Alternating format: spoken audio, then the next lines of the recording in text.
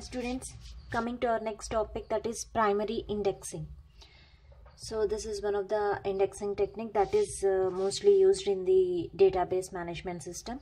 So let us see what is this primary indexing. Primary indexing I already said it is nothing but it is a primary key. The primary indexing is combination of primary key and it should be the ordered data.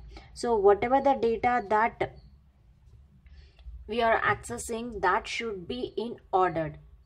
So that is the main thing here you have to note it. In the primary indexing the you have to know the primary key of your database and uh, your table and it should be uh, whatever the data that is your you are means the database is accessing that should be in ordered. Okay? So it is a ordered file whose records are of fixed length so and one more point is the it is ordered file and whose records are of fixed length size. So all the records that are present in the table okay in the file that should be a fixed length size and with two fields. It is having two fields. So first field you make it as a primary key okay and the second field is the pointer. Pointer to data file. Okay? So i already said the uh, index structure. So the index structure consisting of the search key. Okay? That you call it here you taking as a primary key and the pointer to the data field. So this is the uh, structure of the indexing. So if you take it a primary indexing the search key should be a primary key and the pointer to the data field. So to where which block we are searching. So that related address will be stored in this pointer. Okay pointer field. This is about this primary index. So primary index consisting of primary key and the data that should be accessing uh, in the tables that should be in order data so here index entry is created first. Record of each block you call it as a block anchor. So for whatever the uh, index entry index entry is created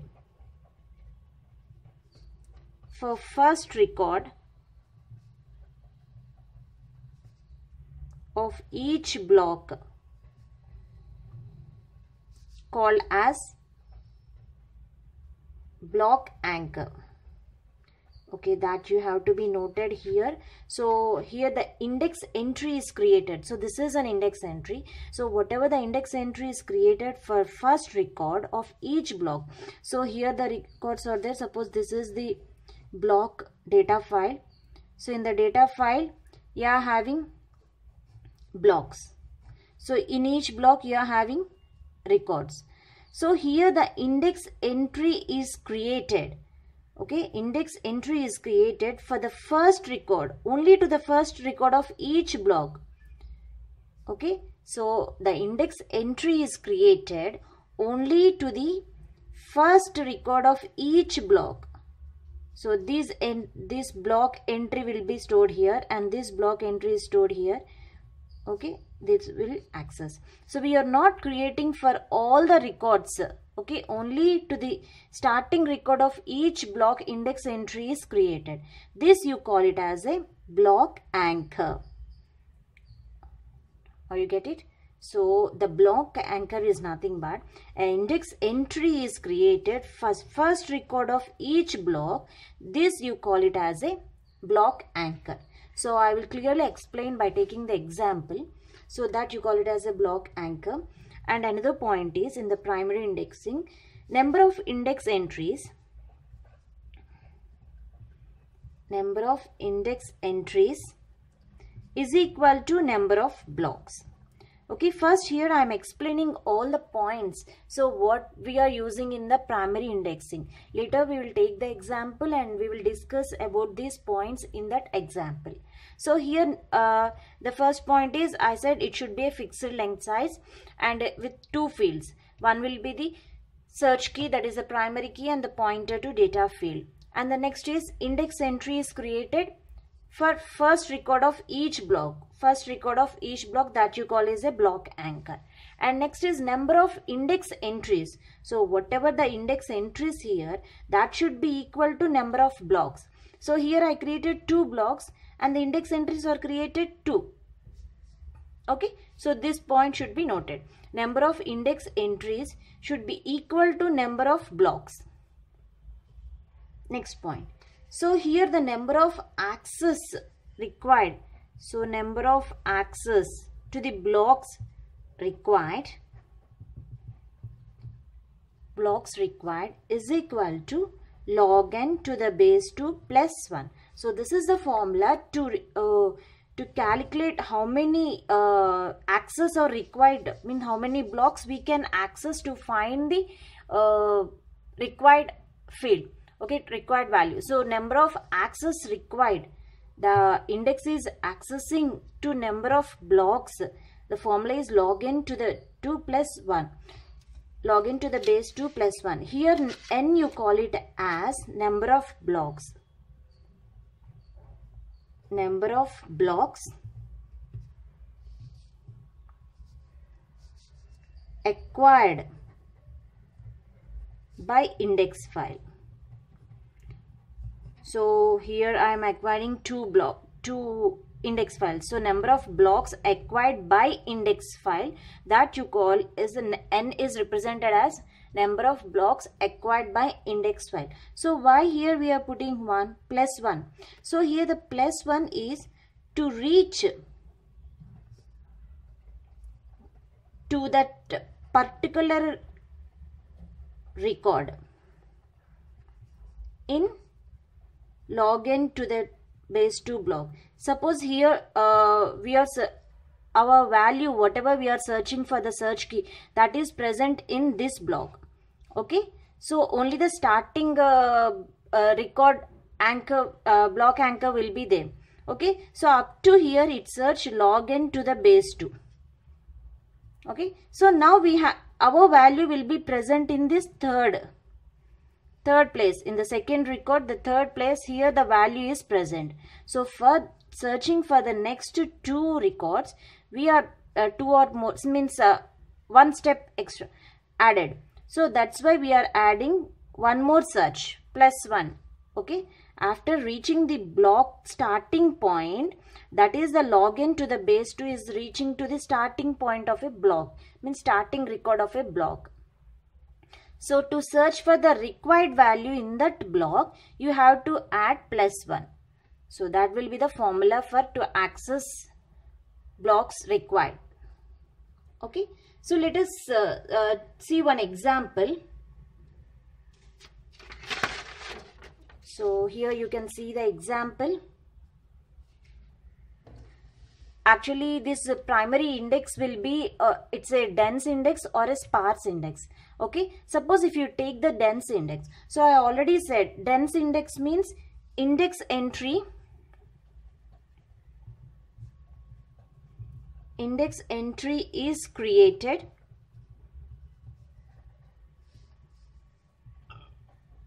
for every search key value. So here the index entry is created for every search key value. So here we have taken the search key value as search key value as account start. So this is the search key value. So you call it as a block anchor. Okay block anchor. So this is a search key value. So in the dense index, we are creating search key for for every search key value. Index entry is created for every search key value. Okay. So these are all the search key values. So we are creating index entries for every search key value.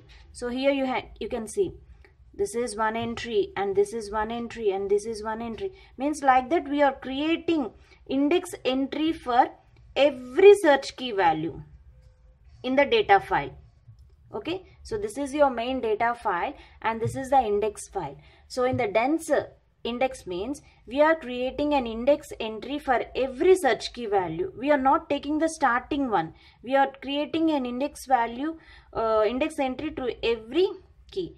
This you call it as a primary dense index. Now coming to the sparse dense primary primary sparse index. So what is a sparse index?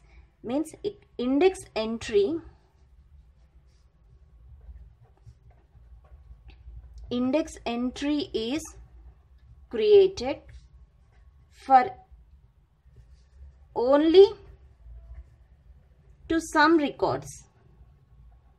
Okay only to the some records. Means here the index is created not for all the records only the first record of every block the entry is made. So here you can observe the search key value here is uh, account okay so this will be the search key value. I said this is the block anchor you call. So here the index entry is created only to this starting record of each block. Okay? So instead of searching the all the key value entries in the index file okay this is the index file. So this is the uh, key value key. And this is the pointer to that block okay? So a10 is a search key. So only to the starting of the record starting of the block starting record of the block will be entered in the index entry.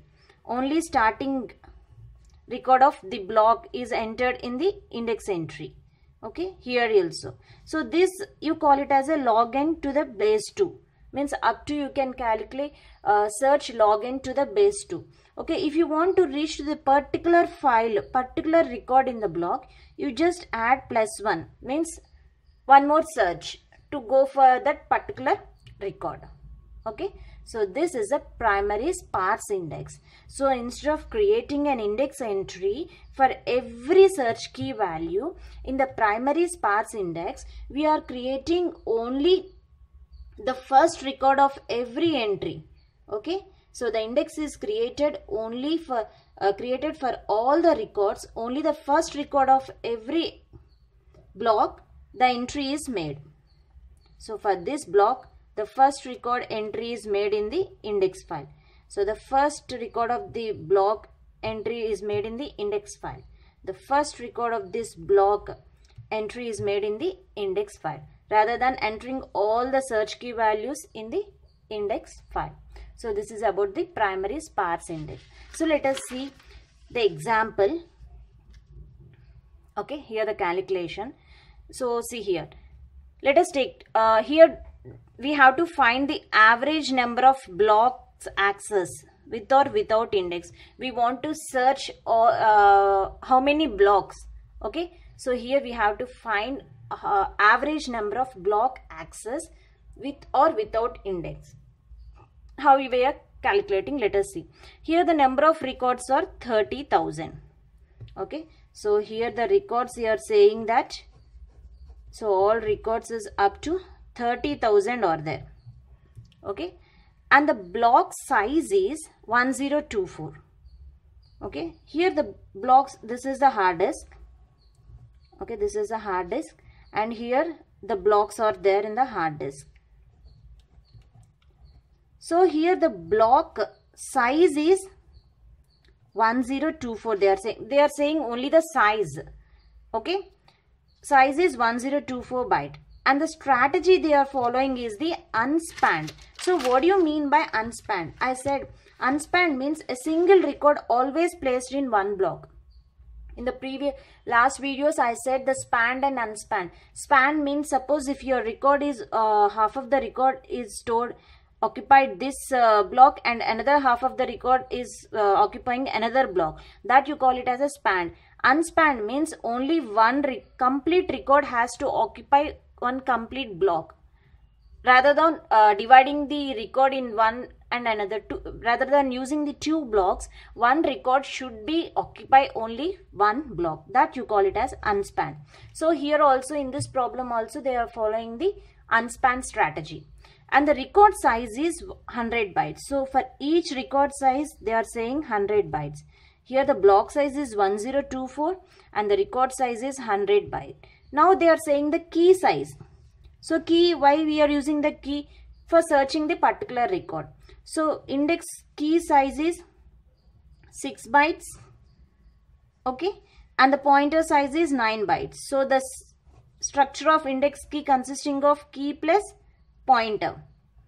Okay? So here 6 plus 9 means the 4, 15 byte size here. So index.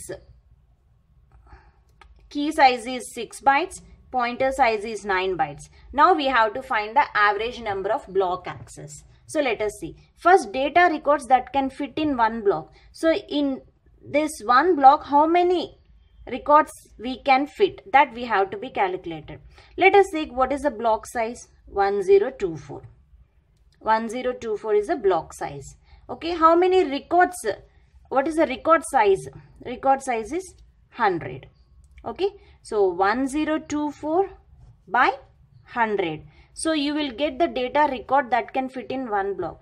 Total you get 10.24 but we have to take only the whole numbers because this is unspanned okay? So unspanned means only the records that are fit in one block you have to be taken. So that is 10 records. So one block you can place 10 records. So in each block you can place total 10 records. So in in each block you can place 10 records. This is clear. Now coming to total records they are saying 30000 so total records are 30,000. So now total number of blocks. So how many blocks can be placed in the uh, data file means in the hard disk 30,000 by 10 records. You will get 3000 blocks. Okay. 30,000 records are there.